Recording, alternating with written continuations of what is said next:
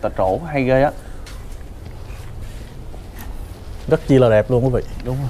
Phải nói là khi đến đây mới thấy được cái cái độ bề thế của cái cái lăng như thế này ở đây á, nguyên cái ngôi mộ này sẽ quy tụ là long lân quy phụng ừ. và sẽ rải rải rác các cái hình ở trong cái nguyên bộ ở bên cái đây thì được trang trí bởi cái những cái ờ, những cái cây cột thì đều có những cái hình cái trang trí riêng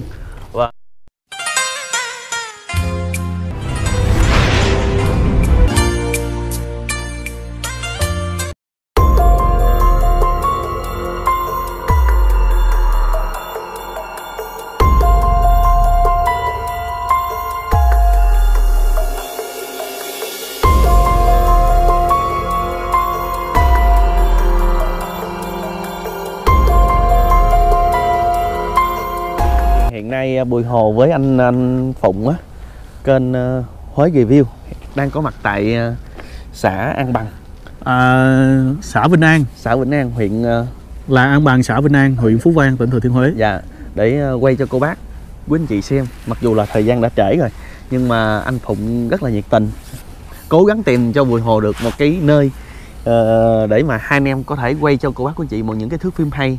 Đó là khu lăng mộ ờ, khu lăng mộ và tìm đến một cái ngôi mộ đặc biệt lăng mộ cho người lăng mộ tiền sống tỷ. tiền tỷ và đây là lăng mộ 6 tỷ.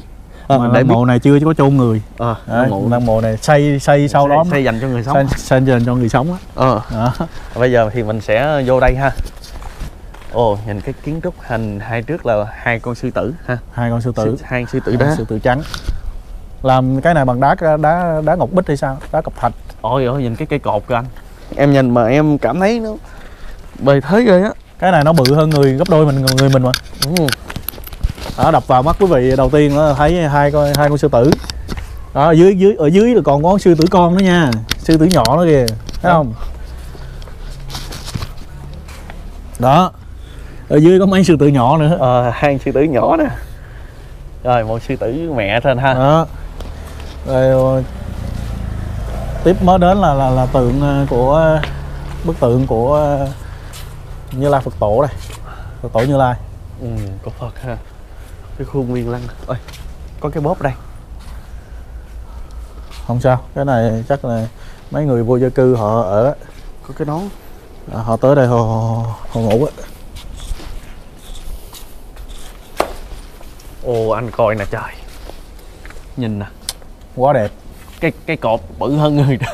Đó bự hơn người nè. Bự hơn người đó. Mình mình, mình không có nói nhóc đó, quý vị nè cái này nó bự ờ, gấp gấp gấp ba mình chứ không đó phải đó, là đó, gấp đó, đôi. em hai anh em mà đứng vô không À. làm đâu Ờ, nói chung là cái cột này cực kỳ to luôn cột hình vuông cực kỳ to hình vuông nhưng mà được trang trí ở ngoài bằng những cái bo trụ bo tròn giống như là bốn cái trụ tròn Ừ. gộp lại thành hình vuông mình đổ ở giữa ha đúng rồi Đấy, nói chung là họa tiết hoa văn nó rất là bắt mắt long lanh luôn ừ. màu sắc rất là không biết là chủ nhân của này là là, là, là ai ha đây nè phụng vị đời thứ 8 hiến tổ tỷ và hiến tổ khảo văn thị thuận và hồ văn thiết. Sinh hạ đời thứ chín hả? Ờ, nói chung là xây dựng trước như vậy chưa có chôn đó. Ừ. ở bên đây là hai con phụng nè. Đó như như mọi người đã thấy là cái khu vực nhà bia là nó cực kỳ lớn luôn quý vị hai con phụng ở dưới là cái ờ, cái con hạt con quy. Con rùa. Gồ nói chung là long lân quy phụng là quy tụ đủ trong này tứ luôn. linh luôn ha. Tứ linh. Rồng. Đâu lân đâu lân đâu? Long lân quy phụng an tịnh đường nè. Ở đây là gồng rồng. Phụng huy. Là quy phụng. Còn à, lân nữa hả? Còn à, con lân nữa. Lân thì mình chưa có thấy nè. Ôi ôi nè trời chạm tà trổ hay ghê á rất chi là đẹp luôn quý vị. Đúng rồi. Phải nói là khi đến đây mới thấy được cái cái độ bề thế của cái cái lăng như thế này ở đây á, nguyên cái ngôi mộ này sẽ quy tụ là long lân quy phụng. Ừ. và sẽ rải rải rác các cái hình ở trong cái nguyên bộ ở bên đây lăng. thì được trang trí bởi cái những cái ờ, những cái cái cột thì đều có những cái hình cái trang trí riêng. Và khi mà đến đây á cái cái điều mà đó là những cái tiểu cảnh tiểu cảnh. để lên cái cái hậu phong hậu phải không anh? Hậu phong hả? Đây là bức bình phong hậu. Bình phong hậu. Đó. anh anh có thể mường tượng ra đây là gì nè? Đây là cảnh biển nè. Cảnh biển quê hương. Biểu tượng hồn quê đó à, có một cái câu thơ này bằng nghề biển của buổi đầu sơ khai với cuộc sống mưu sinh bằng nghề biển. À, có thể đây là nói về cái cuộc đời của ông ha. Cái cuộc đây đời là của- nói về cái cái nghề nghề sinh nhai của ông lúc trước. À. là cái nghề biển. Làm nghề biển. Sau cái đó thì sống ông, bằng nghề biển. ông qua bên à, nước ngoài thì ông tưởng nhớ lại quê hương là ông xây cho xây như vậy.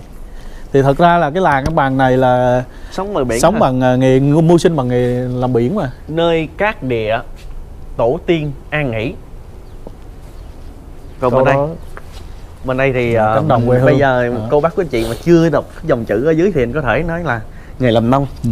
ờ, kể hình ảnh con trâu những người đi cấy đi ruộng. À, và những cái cảnh nó rất là hoang sơ và đặc biệt ở cái làng An Bằng này đó là cát trắng. À, nên Cát thành trắng. thử ra là họ làm ở đây một cái màu trắng nè. Ha. Ờ, cánh đồng quê hương nương vườn nhà cửa thuở đầu sơ khai của ông bà. Vậy là đây là những người mà làm theo cái phong tục là ngày nông có nè ngày biển có nè ha. Đúng rồi. Bên đây là vời vợi non cao ơn dưỡng dục. Nói về công sinh thành của ba mẹ. Đây là con ờ, con phượng. Hồn quy phượng đạp lên con quy. Đây là bình hậu cái gì? Hậu. Đây là bình phong hậu. Phong bình phong hậu. Em quên rồi. À. và cái chữ đó anh anh viết là chữ gì không? Cái này chữ phước hay là chữ ờ, cái này thật ra mình không biết nhưng mà mình mình nghĩ là chữ phước. Ừ. thì ở đây là là quý vị có thể thấy là cái mộ này sẽ thờ hai người này. Đúng rồi.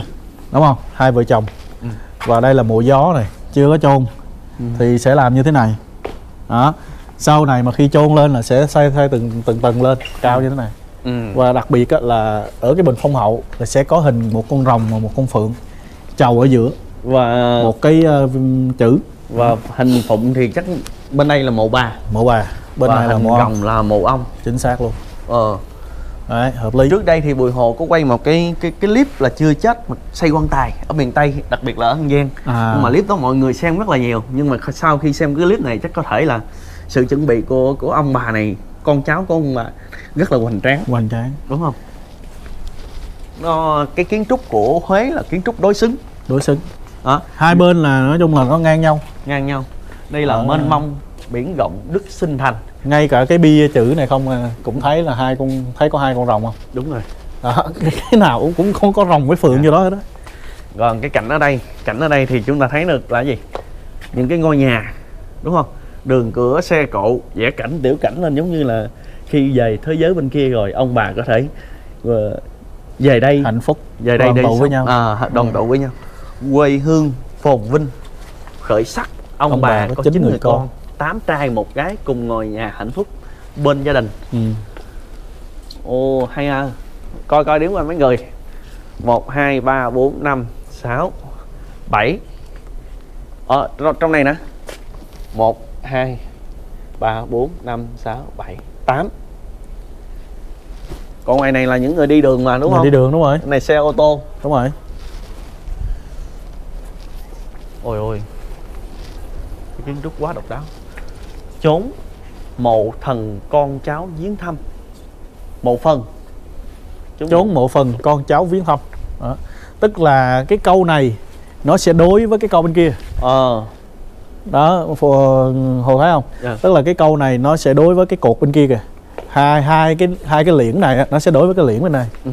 Đấy. hai cái liễn giữa đúng rồi. đối nhau hai cái liễn bìa đối với địa đối, liễn đối bên đây nhau. Đúng rồi hai câu đó sẽ đối với nhau còn ở đây nữa nè. Đây là gì? Cây đa dưới nước sân đình. Đó là biểu tượng làng quê truyền thống của Việt Nam. Ờ, thật sự mà mình mình không nghĩ là mộ của một người bình thường dân bình người thường. dân bình thường. Mà họ lại làm theo cái kiểu mà giống như là quan lại như thế này. Thật sự luôn. Vô chúa ha.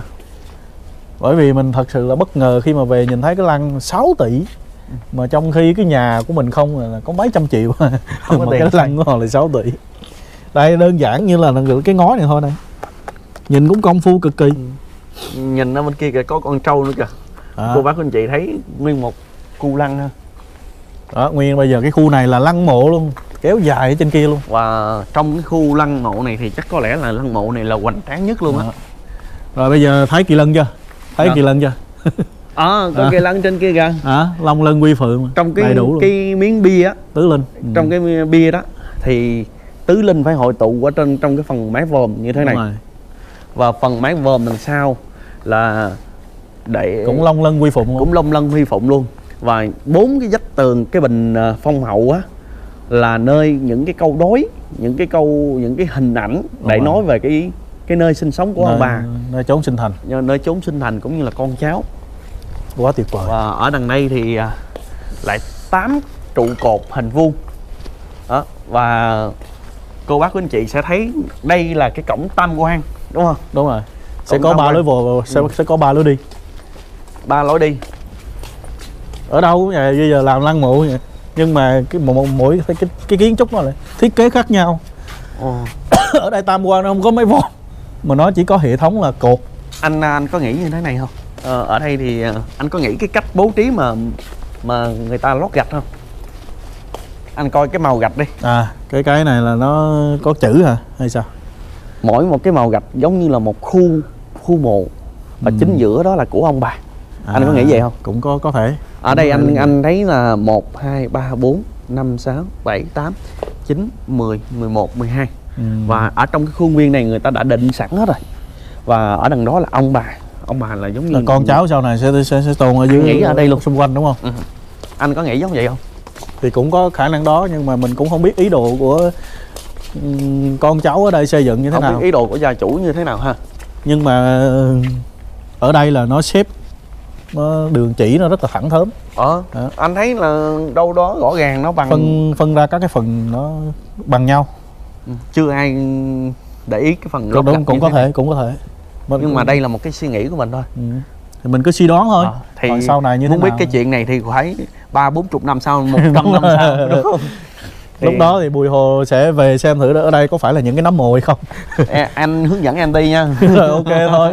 Cái đó thì sẵn lòng. Ừ. thôi cô bác quý anh chị chắc giờ này thì cũng cũng trời sụp tối à cũng bây giờ sáu- là 6 giờ sáu giờ. Rồi. mấy giờ anh? 5 giờ 43 quý vị này.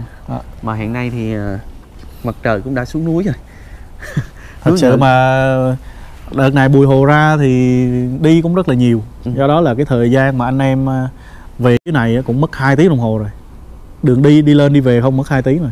Do đó là bây giờ cũng nên à, chào quý vị khán giả để à, hẹn quý vị khán giả ở một cái, cái video s- sau. Nó nó dài hơn và nó quay một cách là tổng quan hơn. Ừ. còn ở đây là mình muốn giới thiệu cho quý vị xem cái ngôi mộ mà đắt nhất ở đây là 6 tỷ thì vài bữa mà có những cái video nào mà những cái ngôi mộ nào nó nhiều tỷ hơn nhiều tiền hơn thì mình cũng sẽ đáp ứng được cái nhu cầu đó để mình quay cho quý vị coi.